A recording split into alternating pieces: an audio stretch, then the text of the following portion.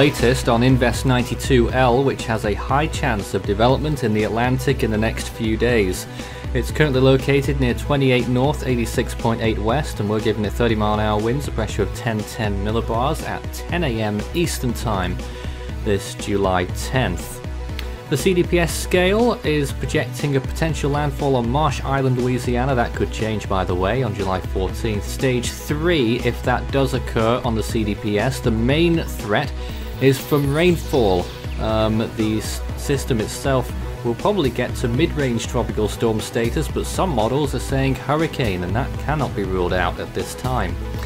So there is its current position right now in relation to the map there, uh, just south of the Florida Panhandle region.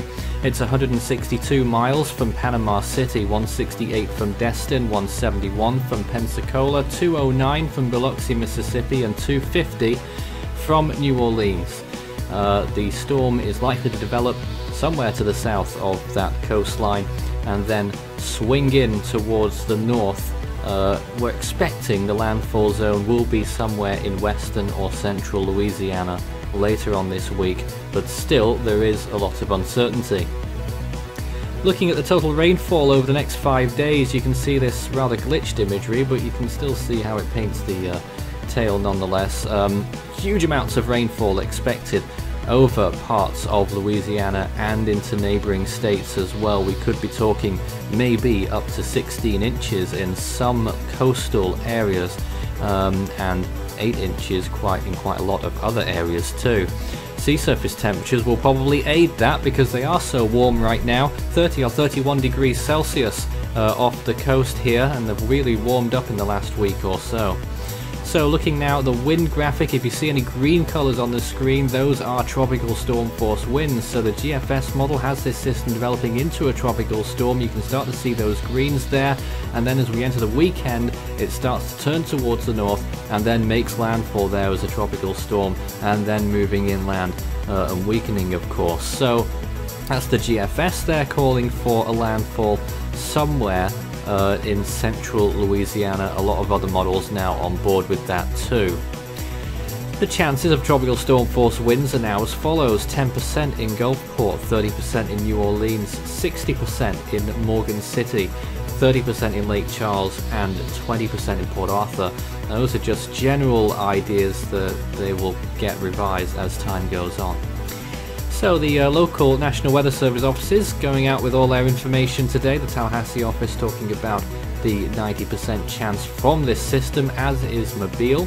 New Orleans showing you the potential rainfall up to 15 inches they're calling for in Houma and Lafayette, and in Lake Charles also calling for the same stuff there with that heavy rain. There's the Houston office showing those high temperatures today, 97 in the Houston area and in Corpus Christi into the hundreds inland, thunderstorms to the northeast. So uh, you can see the latest satellite imagery. This is uh, GOES 16 one minute imagery that we're showing you just so that you can see what exactly has been happening pretty much up to the minute. You can see some convective bursts that are blowing up there but still it's struggling to organize itself. We still haven't really seen um, a bona fide center of circulation yet. We're still looking out for it. It looks as though it might be developing to the southeast of all of that convective activity right now. There is some major thunderstorms occurring in Louisiana and the New Orleans area as well. That's all for now. We'll have more updates. You can follow Force 13's outlets, the website force13.com. You can also find our YouTube channel if you're not there already, you may well be. Good chance of that. Subscribe if you haven't. You can also find our Facebook page, search Force 13 all in text, and our Twitter handle, it's at Force 13 on there. You can also help the project become even better by becoming a patron. You can see more information about all the benefits involved by visiting patreon.com forward slash force13. You can also contact me on Discord, it's Fool13 at extension 9094 and Force13 on Skype. You can also find our server link to our Discord server for Tropical Weather Chat in our description.